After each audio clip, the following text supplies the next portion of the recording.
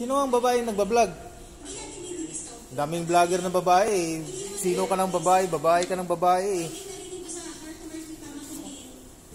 Sino nga ang babae nagbablog? Tapos na ba dito?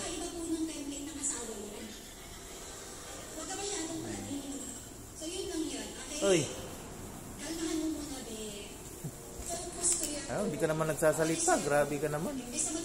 Ikaw lang yung kaibigan ko na ano eh. Tahimik magsalita. Tipid. Kung makikita nilang Wala, hindi nga. Kaya ka na naman eh. Iyaya ka pa eh. Kamukha mo si Digong. Ayan, gumagawa si Leo ng pinapak pinapakintab niya. Nililihan niya muna bagong pintura to.